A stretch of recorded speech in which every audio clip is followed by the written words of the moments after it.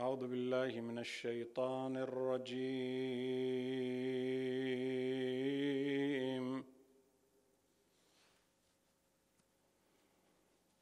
بسم الله الرحمن الرحيم.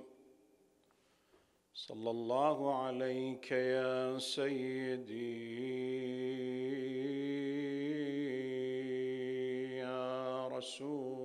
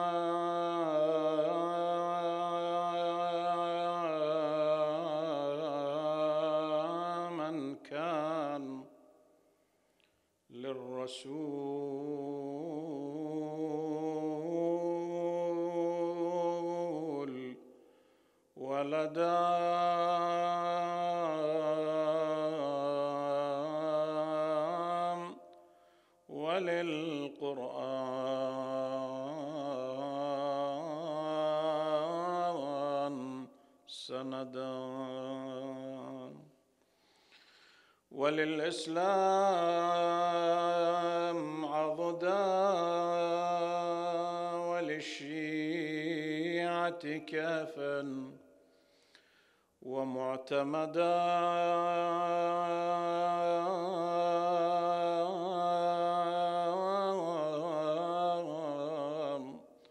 صبط الرسول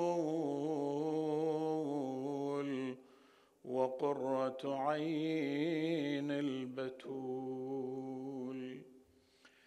الغريب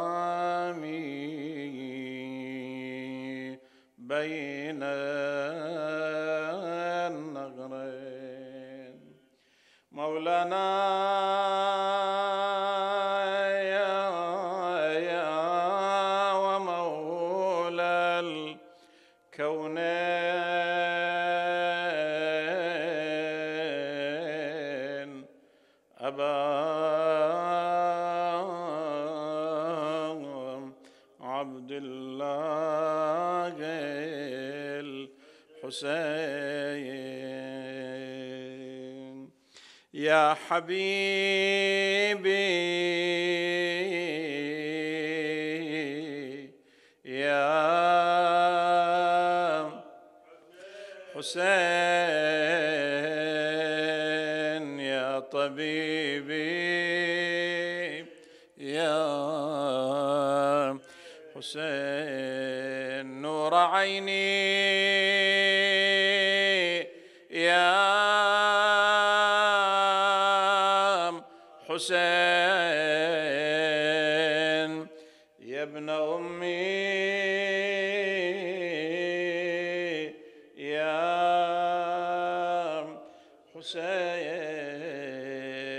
حسين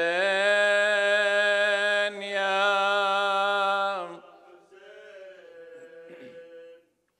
حسين يا حسين. صلوات الله على الجوهرة القدسية. في تعين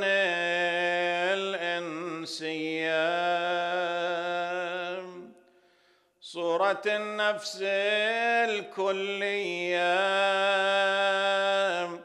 جواد العالم العقلية.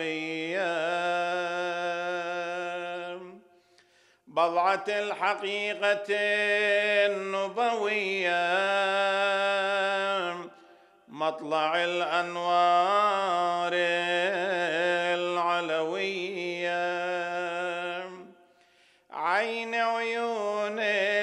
الأسرار الفاطمية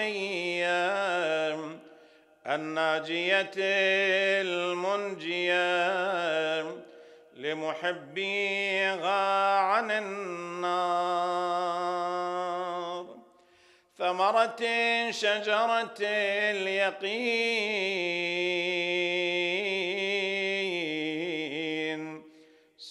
سيدة نساء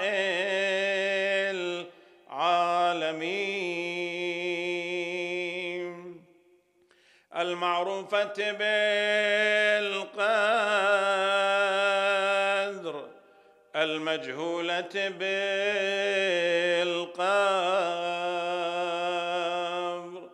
قرة عين الرسول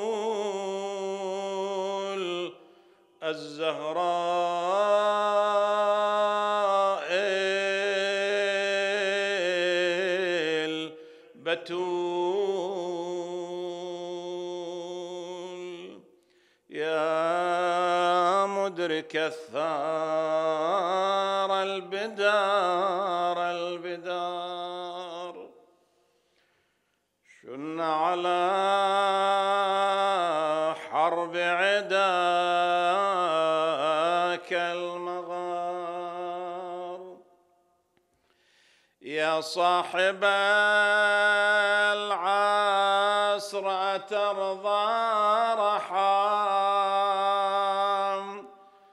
عصارة الخمر علينا تدار سيدي.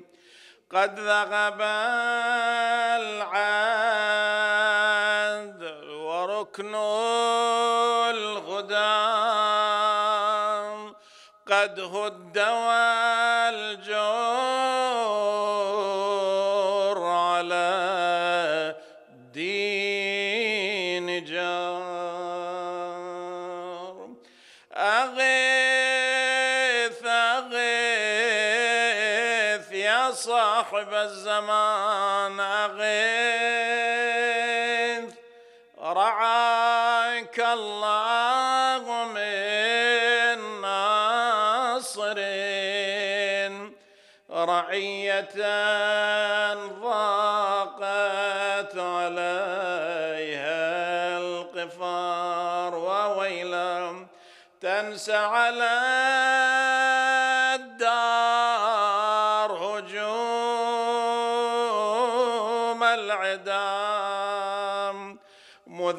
أضرموا الباب بجزل ونار.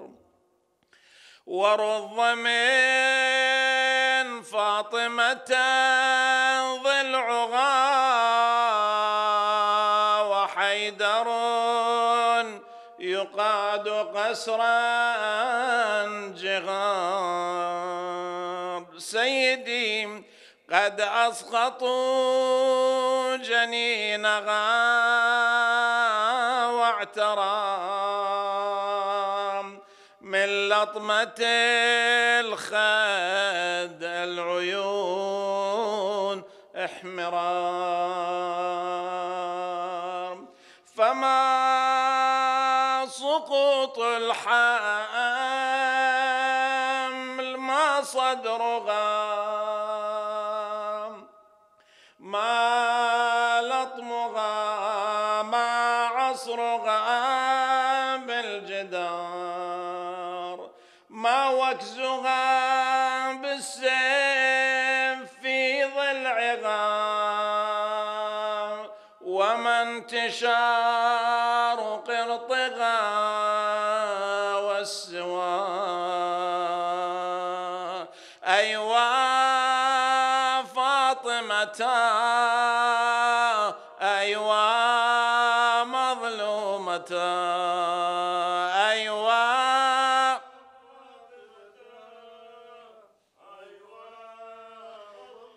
متى؟ ما ضربها ما ضربها بالصوت. ما منعها من البكاء وما لها من قرار. ما الغصب للعقار منهم وقد أنحلها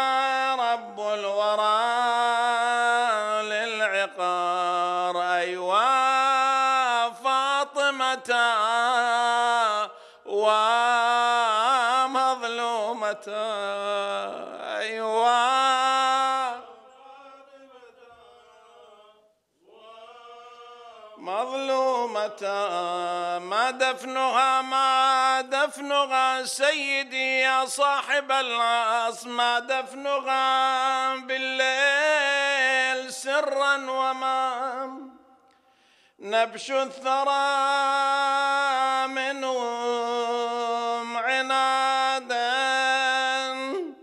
جهار تعسا لهم في ابنة ما نبيهم وقد رعاهم مرام تقلبوا يا بس غامة بشخصك يا ولينا. والله علقت رواية الشرع علينا اجانا الصهاياك وشياطينا وياهم حطب ومشايلينا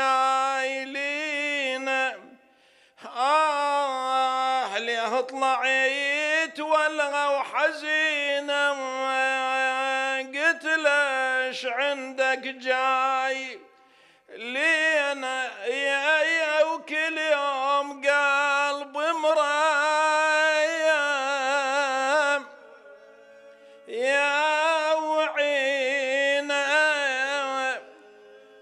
شافني المشرك بدينا ردني وسطر خد بيمينه.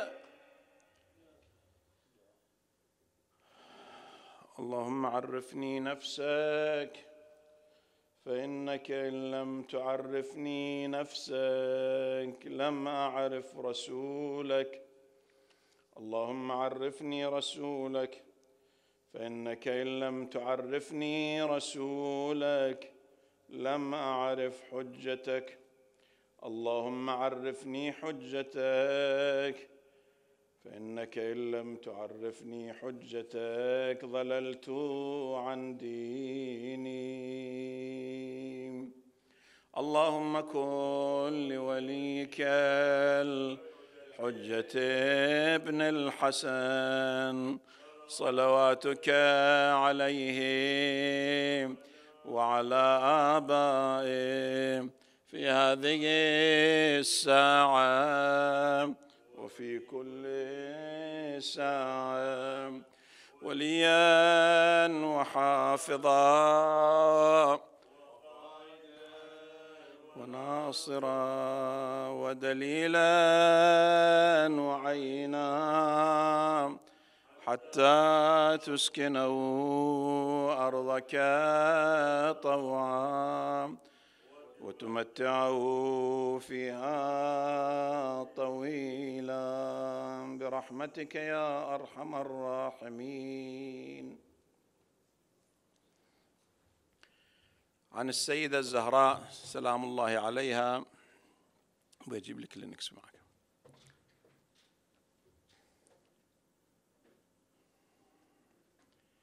في خطبتها هذا كتاب الله حكما عدلا وناطقا فصلا. يقول يرثني ويرث من آل يعقوب. ويقول تعالى وورث سليمان داود. وبين عز وجل فيما بين عليه من الأقساط. وبين عز وجل فيما وزع عليه من الأقساط. شرع من الفرائض والميراث. وأباح من حظ الذكران والإناث ما أزاح به علة المبطلين وأزال التظني والشبهات في الغابرين. كلا بل سولت لكم أنفسكم امرا فصبر جميل والله المستعان على ما تصفون. مقطع.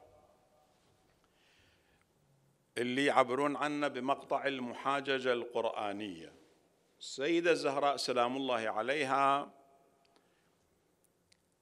لما نأتي إلى القرآن ونرى رصيدها في القرآن هي الرواية المشهورة عندنا وحتى عند بعض أبناء العامة أنها ولدت في السنة الخامسة أو من بعد المبعث بخمس سنين. يعني بالمهجر النبوي كان عمرها ثمان سنين وهي يتيمة الأم. كانت يتيمة. فهذه السنين أو هذا المولد يرتبط بأشياء كونية بأشياء توحيدية بأشياء خارجة عن نطاق حتى التعقل لهذا اللي يدرس واللي يطالع واللي يقرأ واللي يريد يتفهم ويستفسر عن السيدة الزهراء سلام الله عليها. زين. كنموذج تربوي إصلاحي ديني أخلاقي اجتماعي اقتصادي كوزن للأمومة للبنوة للفتاة. زين. ولكل شيء يعد في قمة معارف التوحيد فتاريخ السيدة الزهراء هو كفيل بذلك.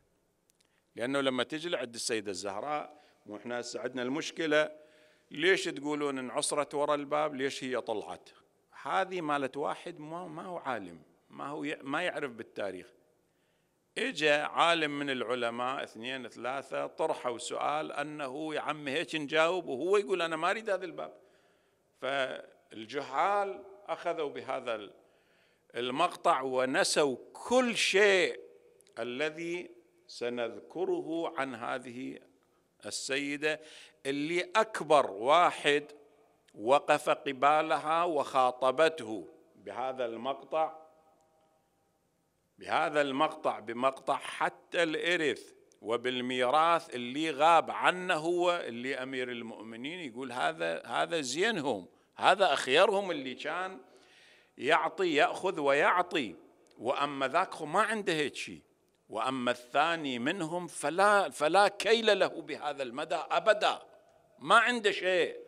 يقول ذاك عنده قبضة الصوت وقبضة الزور وغب وإذا كان هم مفسوح المجال وهي ترى مو بس السيدة الزهراء حتى لما آه، أبو بكر أكو روايات عندنا مسموم مات. ويتهم به حتى الخليفة الثاني. هذين الأشياء اللي أقول لك ما سامعينهن ما ندري فيهن أو ما نطالعهن أو ما نروح وراهن لأن كنا هسه صرنا إحنا ويا عيالنا ما سالكين. ويا أهلنا ما سالكين ويا نسواننا ما سالكين ويا أطفالنا ما سالكين ويا عشيرتنا ما سالكين لكن نريد نسلك الوضع أنه لا أبو بكر سالك ويا الله ويا رسوله ويا فاطمة ويا الحسن ويا بنته ويا عمر نفس الشيء. مش عندك أنت؟ ليش هالقد هذا؟ الباب هذا شو تريد تسوي؟ به أنت ياهو مكلفك أنا ياهو مكلفني حتى هذا الشيء أريد أن أطرح عنه لهذا دخل عليهن حينما مات أبو بكر فأخذ ابنة أبي بكر لأنها كانت تنوح على أبيها فكان يضربها بالصوت حتى كشف عن رأسها. فصاحت به ماذا تريد منا؟ أتريد أن تصنع كما صنعت بفاطمة؟ شو لك أرض بينا؟ نسوان ونبكي.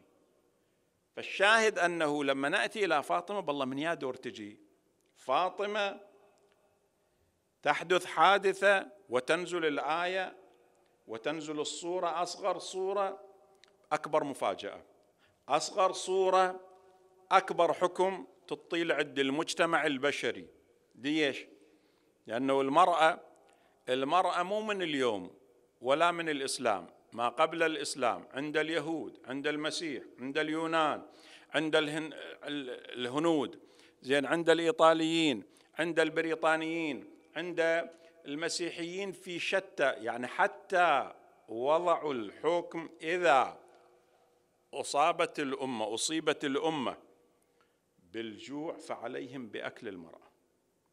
يعني لا تقابل حتى بعض الحيوانات. بعض قال أتعس من السم الأفعى والموت. شوف هاي تاريخ الهند شلون يطيها.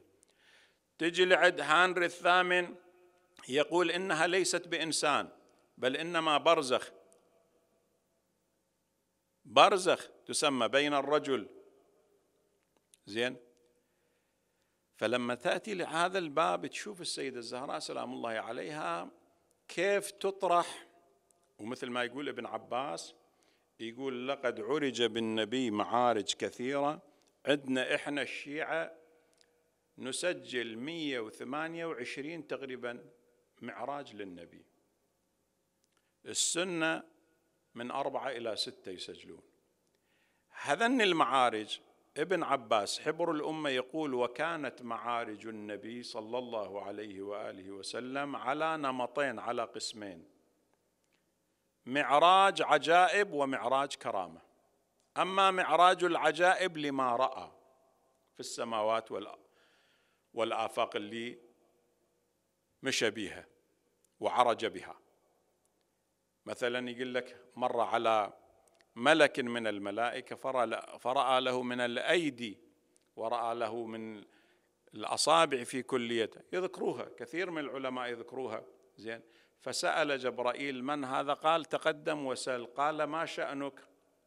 سلم عليه رد عليه السلام. قال إني أعدد قطر المطر أينما حل ونزل في بحر في جبل أم بحر.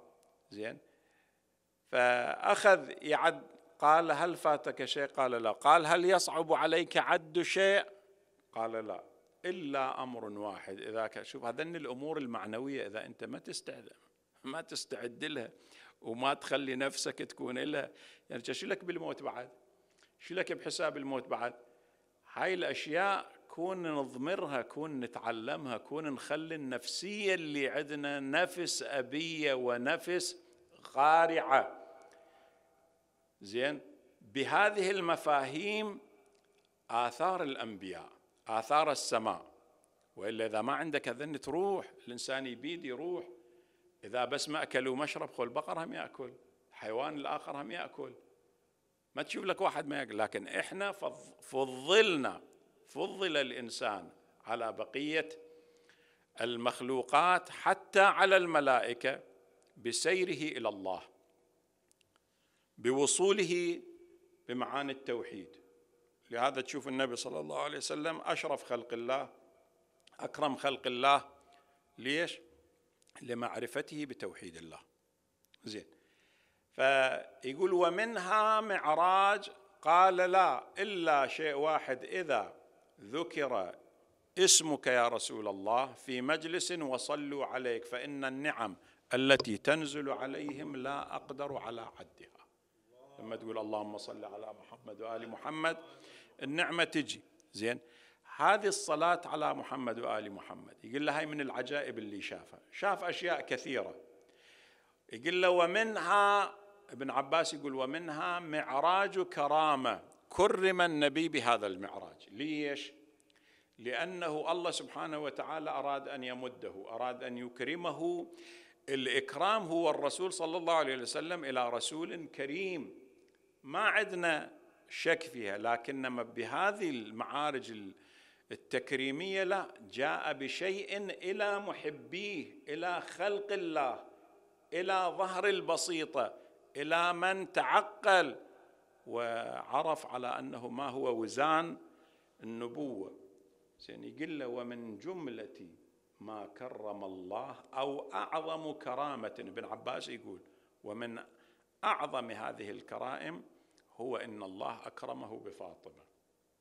وهي عندها حديث طويل عريض ذاك اللي الإعراب اللي إجا وقبل كانوا العصر من يهدأ شوية الحر يجلسون حول الكعبة.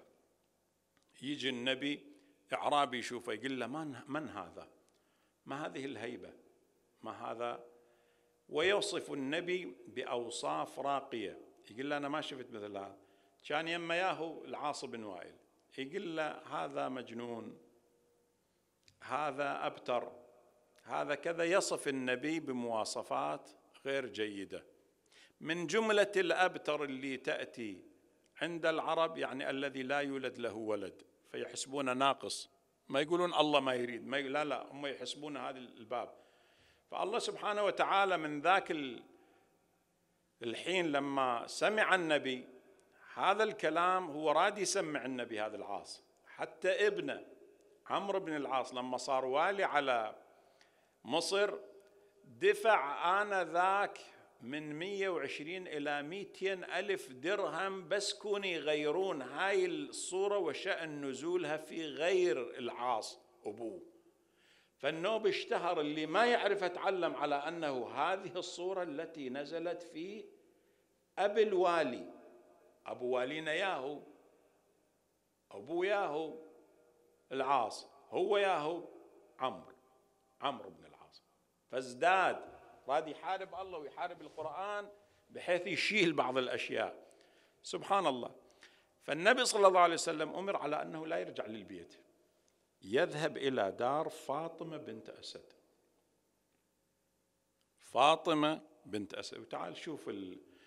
شوف الجو المكهرب اللي يكهربون هذول اللي الطغاة اللي ما عندهم عقل وما عندهم دين من تجي لعند الرسول أمة كافرة أبو كافر عبد الله وآمنة وعم أبو طالب وفاطمة بنت أسد ما يخلون شيء. ليش؟ هاي الوهابية الوهابية مو من اليوم.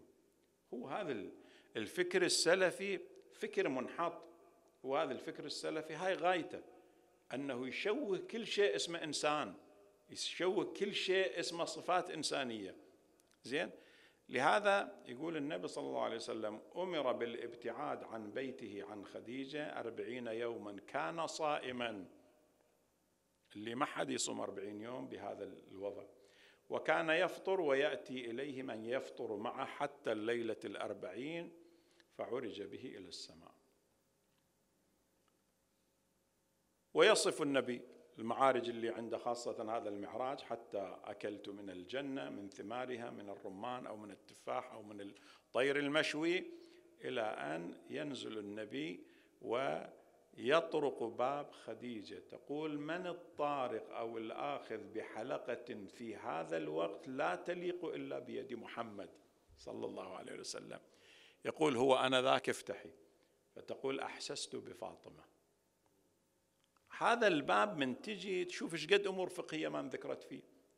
إيش قد أمور أخلاقية إيش قد أمور اجتماعية إيش قد أمور اقتصادية إيش قد أمور ومسائل. زين. أنزلت أو كانت أو خصصت للنبي صلى الله عليه وسلم. لهذا لما تأتي إلى فاطمة الزهراء سلام الله عليها إلى السيدة سيدة النساء مو معنى أنه سيدة نساء العالمين أنه والله إجت لا لا. شوف الكونيات شوف التشريع السماوي شوف الإعجاب السماوي كيف يتدخل إذا الإنسان كان ملتزم. لهذا يقول ولدت في السنة أو بعد السنة الخامسة. هاي مولدها. لهذا سميت بالكوثر لرسول الله. مو كل أحد. أنت تجي رأسا تحارب ليش عم أنت ياهو شني أنت؟ وينك أنت من رسول الله؟ وينك أنت من الأئمة؟ الأئمة بعظمتهم. وتعال خلي الأئمة تعال شوف العلماء الفطاحل ويا ريت بس علماء مسلمين يا ريت بس علماء شيعة.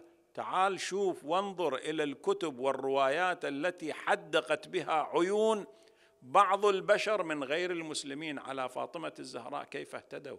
وكيف مشوا؟ وكيف وصلوا؟ زين. السيدة الزهراء سلام الله عليها هسه وين؟ بالمسجد تجي تتكلم مع أبي بكر. أول شيء تقول له أنت أنكرتني. ليش؟ لأنه تقول إني سمعت أباك يقول ولا واحد يذكرها غير أبو بكر. هذا الحديث ما يذكر أبدا. يعني حتى بالآحاد عندنا مصطلح خبر الآحاد ما يذكر إلا أبي بكر. إلا أبو بكر يذكر هذا الحديث. إني سمعت أباك يقول ولا واحد صدقه من القاعدين. إني سمعت أباك يقول نحن معاشر الأنبياء نحن معاشر الأنبياء. لا نورث درهما ولا دينارا. زين بهذا الكلام لما إجت هذا كتاب الله حكما عدلا وناطقا فصلا يقول يرثني ويرث من آل يعقوب. هاي بالنبوة ما إجت لعند الناس حتى تقول والله هنا المواريث شلون تتقسم. زين. ويقول تعالى وورث سليمان داود زين. فأنت منين لك هذه؟ الله بهذا القرآن نزل كل شيء. ما في شيء غائب لكنما الغائب عني وعنك أنت اللي إحنا ما ندري عن السيد الزهراء مو غائب. شو تقول له بالقرآن إيش اجى إيش نزل؟ زين.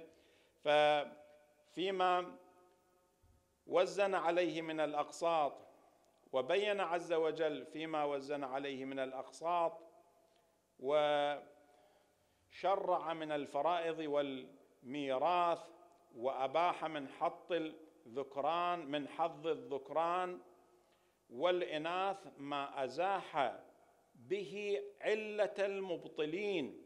وأزال التظني والشبهات في الغابرين. مو اكو جماعة يظنون هذا الحق يعني ماكو علم كانوا يحكمون على الناس سواء بالشرائع السابقة أو سواء بالناس الهمج. كلا بل سولت لكم أنفسكم. أول شيء كلا. اطت الجواب ثم تقول له لا هذا مو هذا مو جواب أبي. كلا. بل سولت. تسويل النفس من أخبث الحالات والنفسيات والصفات للإنسان أنه الإنسان دائما يرتكب والإنسان دائما يظن ويشك. تسول له نفسه نفسه امرا فسولت لكم أنفسكم امرا فصبر جميل. والله المستعان على ما تصفون. هذه أول شيء يعني أنت هذه الصفات اللي بهذا الحديث اللي ذكرت لي وتريد تسكتني ما تعرف فاطمة وعن جد ما حد يعرف فاطمة. عن جد لا يعرفها حق المعرفة وإن عرف بس أكو معرفة ثانية لا أبو بكر يعرفها أحسن مني ومنك. أعطيك إياها. بالكلام اللي تكلم فيه أبو بكر إلى الآن لم يتكلم به أحد وهذه هذه الضربة القاتلة حتى لأبي بكر لكل منكر فضل فاطمة وحتى للخليفة أبي بكر بحيث أنه شوف شي يقلها. يقلها بكم صفة؟ هاي الصفات سبحان الله. لو الإنسان شوية يوطن نفسه فيها لو الإنسان شوية يتكل زين؟ على معرفة هذه الكلمات من أبي بكر مو من أمير المؤمنين ولا من رسول الله ولا من القرآن الكريم لا لا. ممن ممن أحرق بيتها وبابها في زمن خلافته. من هذا الرجل شو شو يقولها يقولها فقال أبو بكر صدق الله ورسوله. أخو ما عندنا إشكال بها كنا نقول صدق الله العلي العظيم صدق الرسول الأمين. عندك شي بها لكن تعال شوف. سنة وشيعة ينقلون صدق الله ورسوله. وين صدق الله ورسوله؟ بالآيات اللي سردتها إلك يوم حديثك. لتقلها سمعت أباك يقول يا هو بالله كذب. أين أين المخرج من هذا الباب؟ صدق الله ورسوله. وصدقت أو وصدقت ابنته. عجيب. صدق الله ورسوله وصدقت ابنة رسول الله. يعني هذا الحكي اللي حكته السيدة الزهراء ما يقدر أحد ينكره. وهو اللي يدعي أنت شوف هنا النوب شوف الصفات اللي تجي. شوف الصفات المبرمجة. زين اللي رغما على أنف كل واحد يرضى والما يرضى أنها من فاطمة. أنت شنو أنت معدن الحكمة؟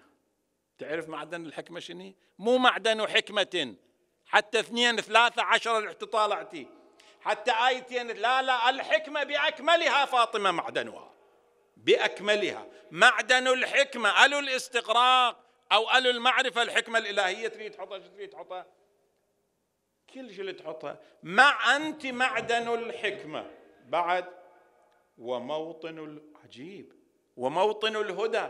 يقول ماكو أحد يهتدي بدين رسول الله ودين الأنبياء السالفين والأوصياء إلا إلا. وموطن تلك الهداية فاطمة. يعني اللي ما عنده ما عنده هداية فاطمة فلا موطن من الهادي لديه. مثل الواحد اللي بالبحر وما شايف نفسه بمن يتوسل.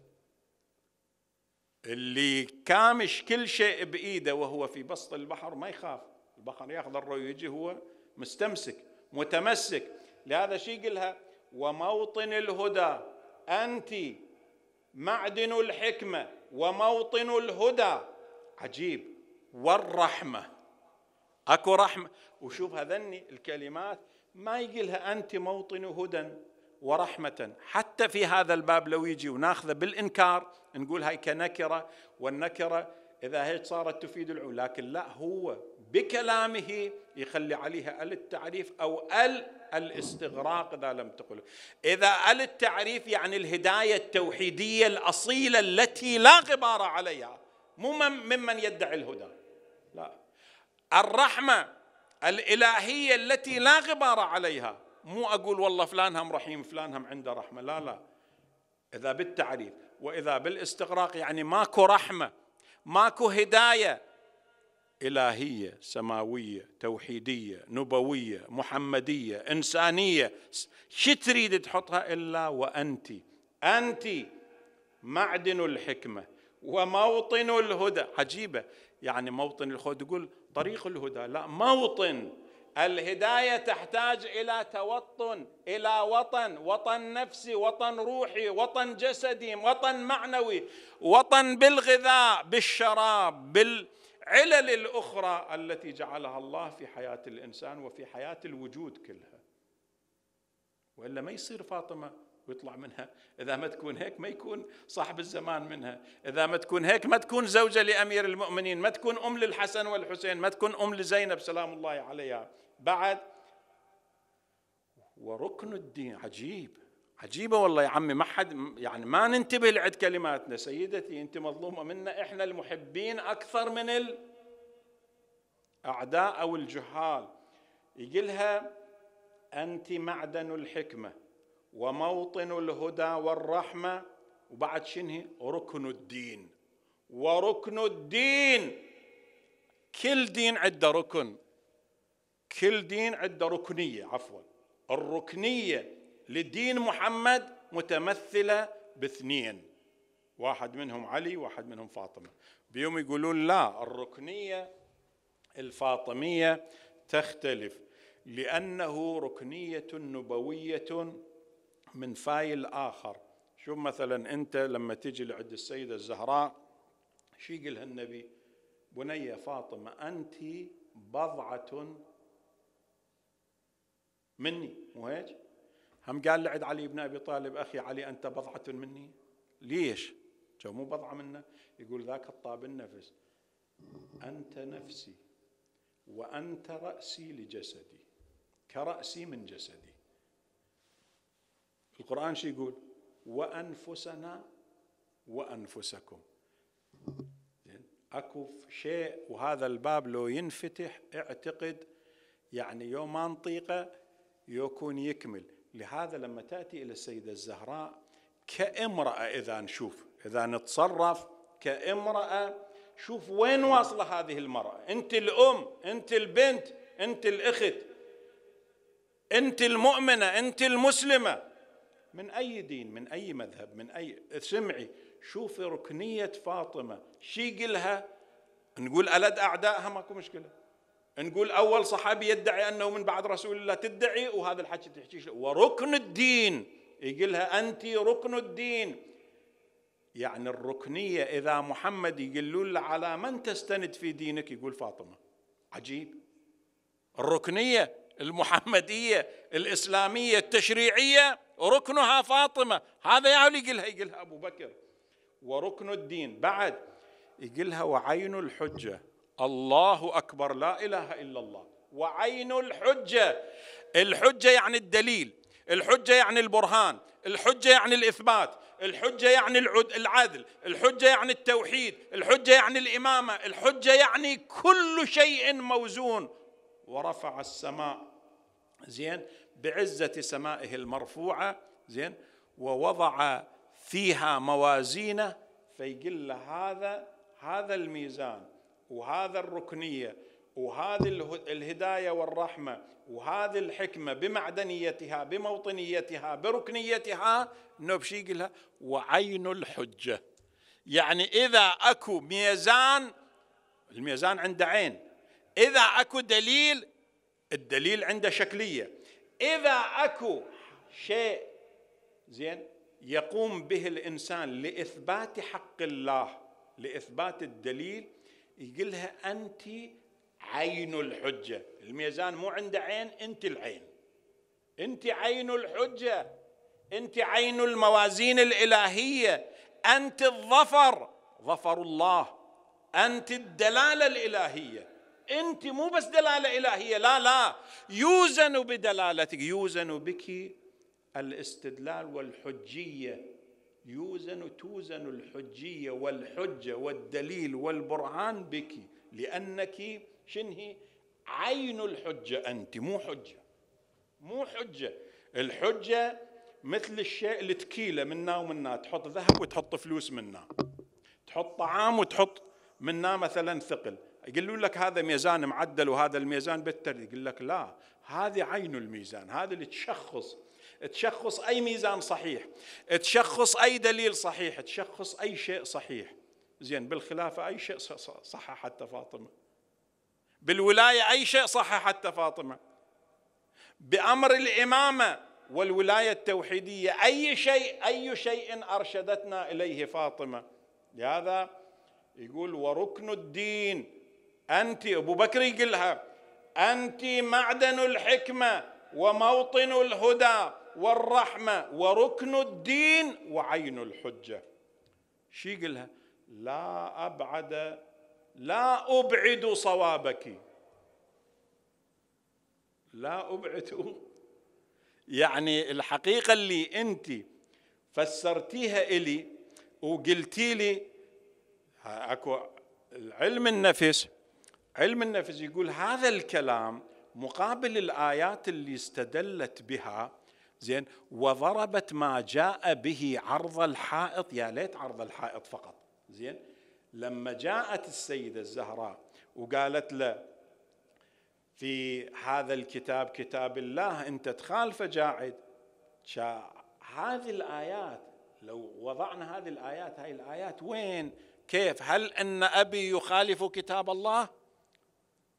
انت شايف أبوي يخالف كتاب الله حتى يحكي هذا الحكي؟ فأبطلت اولا المدعى اللي كان يدعي.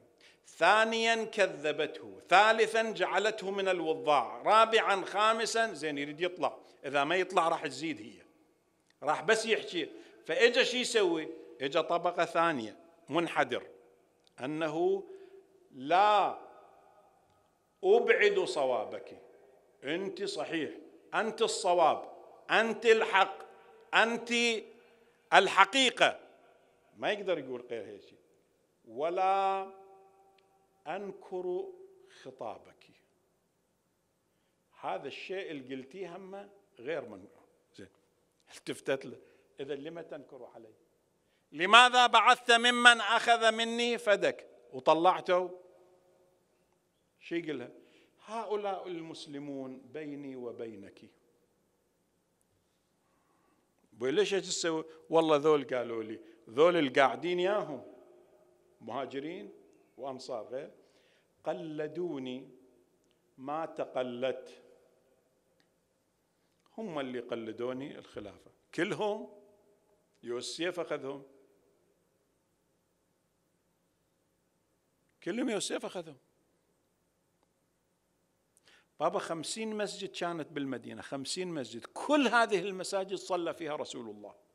كل هذه المساجد.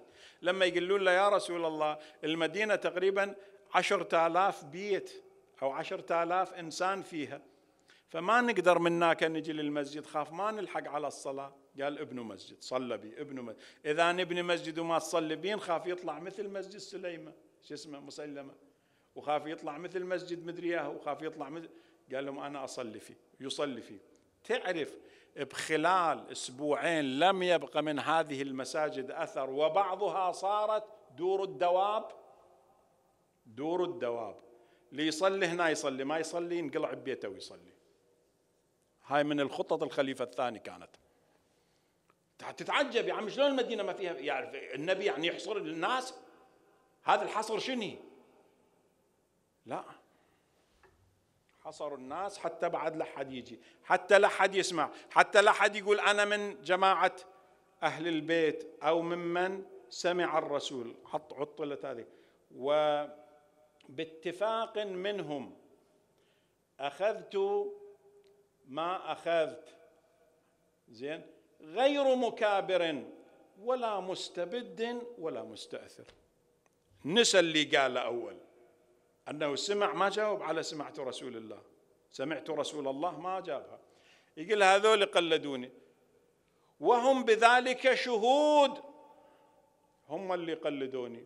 وأنا ما أخذت هذا الشيء زين متكبرا عليهم. لا غير مكابر ولا مستمد ولا مستأثر. يعني أنه لا والله كلهن بيك.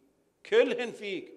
اللي يعمل هذا الصنيع وهي الأعمال كلها فيه سواء كنت أبي بكر الخليفة الأول أو الخليفة العاشر أو الخليفة المية.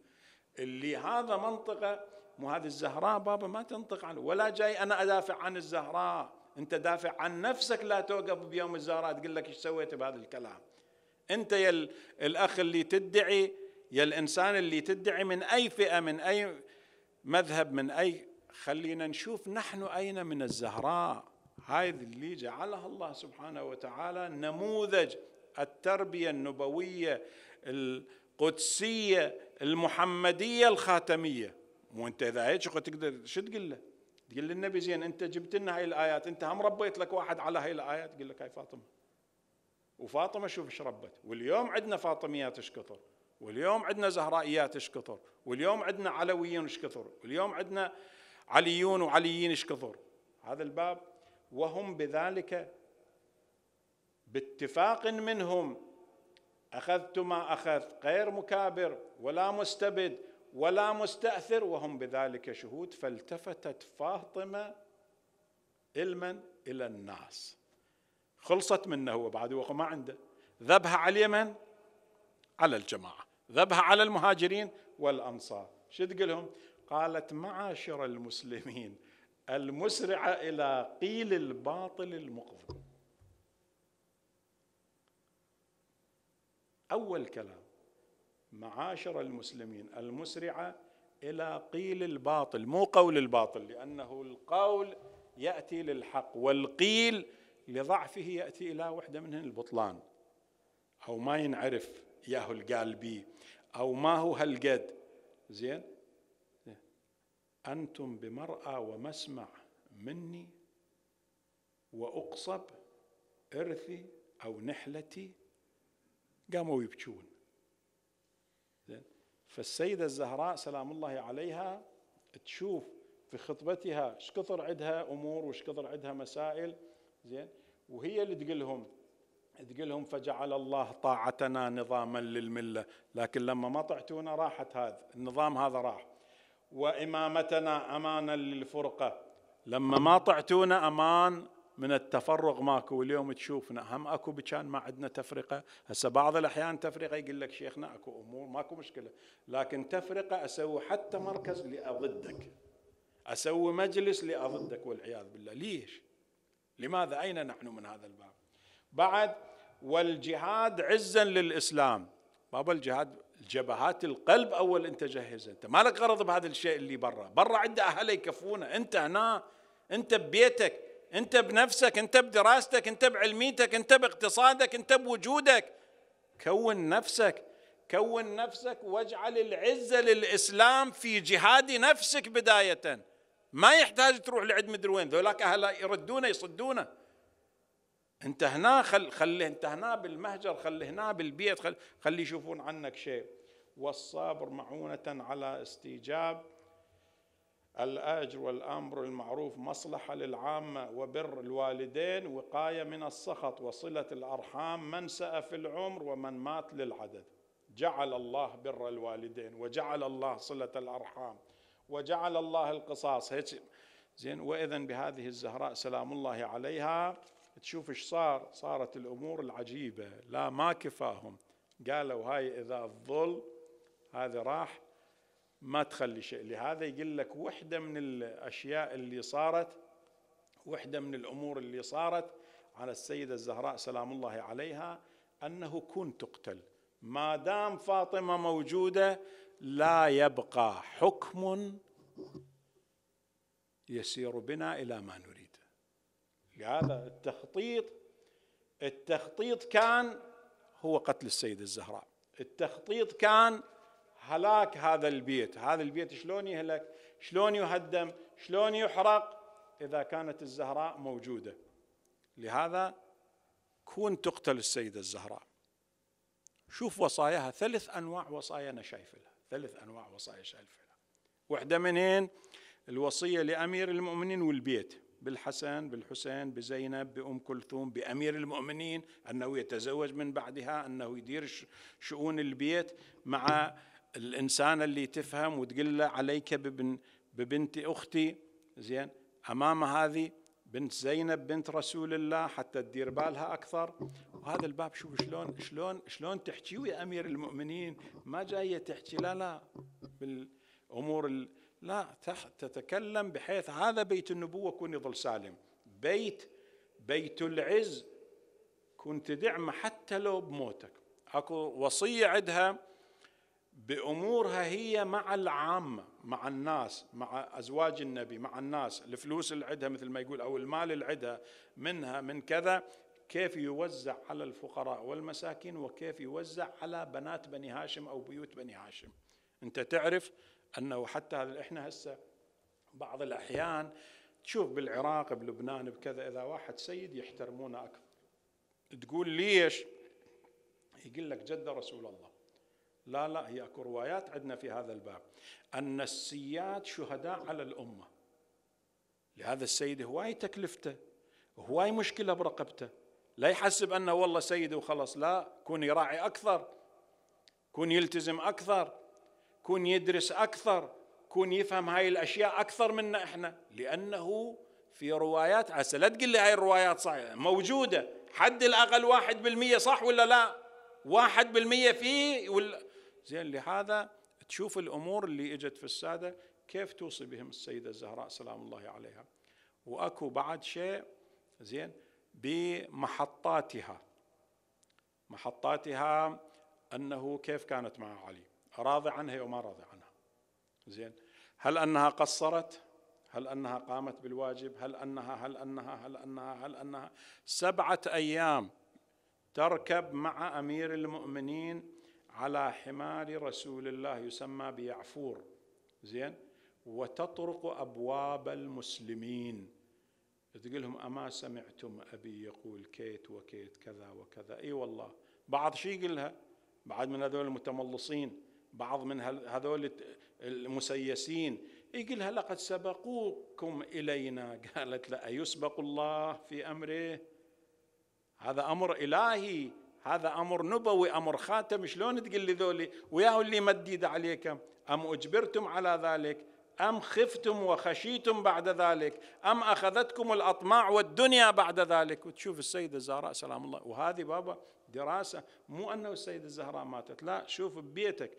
أنا أشوف ببيتي والله عندي نفس زهرائي من زوجتي من بنتي من أطفالي من عائلتي. أنا عندي هذا النفس معاها ولا لا؟ لهذا من وصاياها التي أوصت بها أنها تدفن ليلا. تغسل ليلا تجهز ليلا يصلى عليها ليلا وتدفن ليلا. وهذا اللي أحزت بقلوب كثير من المؤمنين بقلوب جميع الأئمة عليهم السلام وأهل البيت سلام الله عليهم أجمعين بحيث أنهم زين ما نعرف شو اللي صار ما نعرف شو اللي صار وما نعرف شو اللي طرأ على هذا الباب. لهذا تقول له قسلني لي السيدة زينب سلام الله عليها تسمع الحديث. هاي الوصية سمعتها. لما سمعت هذا الحديث شو تقول لها فضة تقول دخلت عليها وفي رواية أسماء بنت عميس تقول دخلت عليها في رواية تقول فضة دخلت عليها فرأيتها تبكي فلما رأتني قلت نور عيني ما يبكيك فركضت إلي احتضنتني واحتضنتها. زينب سلام الله حتى هدأ نشيجها تبكي مختنقة. عبرتها زينب سلام الله عليها زين حتى تقول شوية أنطت مجال وقدرت تحكي. لما تكلمت شد قلها قالت ما بك نور عيني سيدتي ما, ما الذي جرى؟ قالت سمعت أمي لأبي تقول جهزني ليلا. غسلني وكفني وصل علي ولا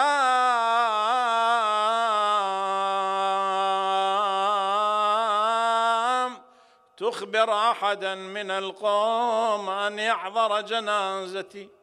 يمتى نحضر ويمتى نشوف ويمتى نعرف ذاك القبر يقول لك ما راح تشوفه. من النبي للوصي لآخر وصي. من خاتمية الأنبياء شفت؟ فاطمة وما راح تشوف أثرها إلى أن ترى خاتمية الأوصياء صاحب العصر والزمان عليه السلام. آه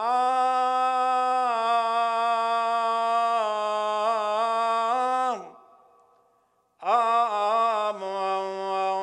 يا خمد نور الزكية وخيم الليل. خمد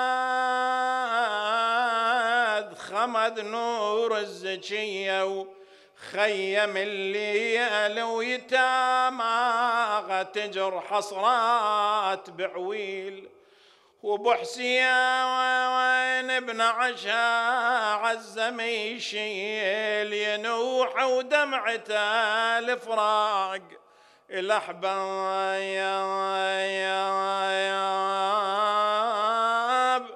شيعها علي ومكسور ظهره.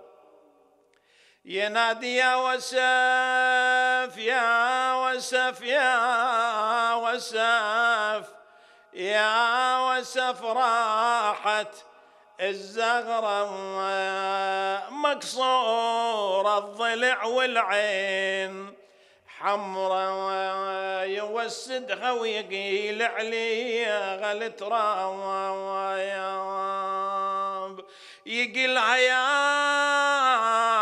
بتول شلون ترحين؟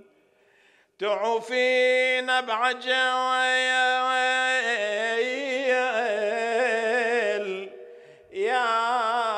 قرة العين تمنيت العمر ويانا تقضين. تراه العيش بعدك ما غنى وطمب وويلا وسيدته تقول لما غسل غام رواية يذكروها حتى حتى من غير الشيعة يذكروها. يقول لما غسلغا كفنغا البكاء اللي صار بأثناء تنقل إن أسماء بنت عميس أنه جسست متنها جسست صدرها أو رأيت عينها هذا أن كلهن موجودات لكن أكو شيء يقول فلما غسلها وكفنها ثم قال للحسن والحسين وزينب وأم كلثوم عليكم بأمكم ودعوها آخر وداع. يحلف أمير المؤمنين يحلف أمير المؤمنين ويقول لقد فتحت باعيها وضمت الحسن والحسين على صدرها أيوا فاطمة أيوا أمة وأتمنى وياك أنا توسد التربان يمه وتوسلت مرضى الدفان. يا يا والله وتوسلت ما رضى الدفم والله الدفان يمه وقلت له يحط لي يمك مكان ويمك يا يمه يحط لي مكان ويمك يا يمه يحط لي مكان قل له يا حيدر بويا دريض بالضعينة وخلينا نودع الحنينة. يا يا عسى لا قال هلا تفارق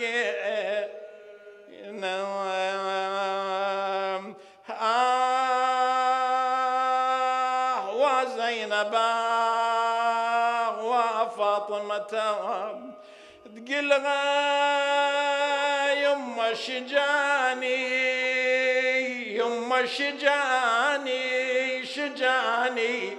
أنا شجاني وما رحت ويا اللي يدفنون الله أكبر.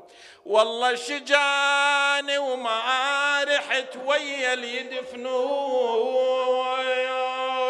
وأنا ما أنا بقبرها كون يرضون. وأنا ما أنا بقبرها كون يا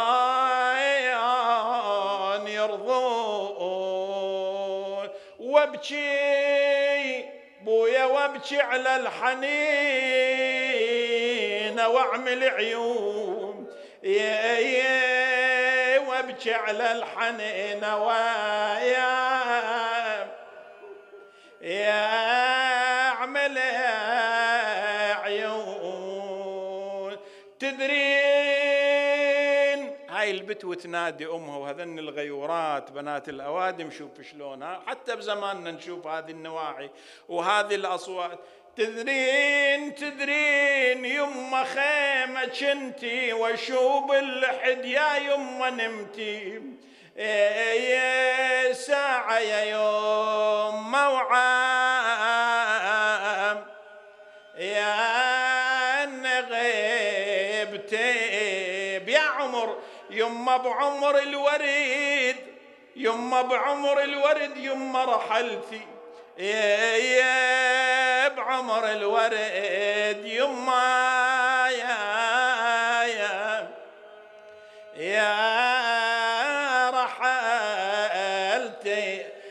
وادريش يما وادريش محظوما غضمتي ولا جنك يا زغرة ويانا كنتي وبيتنا قمت وقعدتي وبيتنا قمت وقعدت.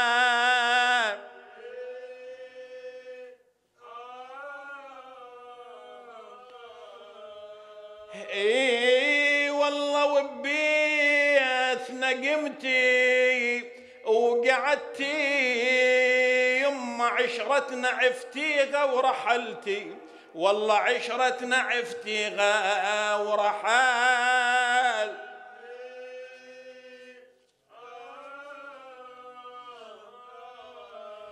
رحلتي عن دارنا عن دارنا يا يما عن دارنا يا يما شلتي. والله عن دارنا لا وين شلتي وبالمقبرة تالي سكنت. يا ريت بمقبرة وتنشافين سيدتي مولاتي لكن الشاعر الظاهر هل قد عنده وصف؟ من هو الذي نشف دمعتي ومن هو الذي سجت عبرتي. يا يا من هو الذي نشف يا ومن هو